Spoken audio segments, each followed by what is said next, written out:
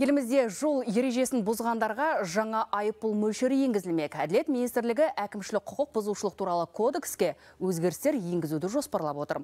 Қазір құжат ашық талқылауға шығарылған, соған сәйкес жылдамдықты сағатына 40 пен 80 шақырымға дейін асырғандарға жаңа айыппұл мөлшері қарастырылып отыр. Оның мөлшері 69 мың теңге. Ал жылдамдықты сағатына 80 шақырымнан асырғандарға 138 мың теңге айыппұл салу көзделіп отыр.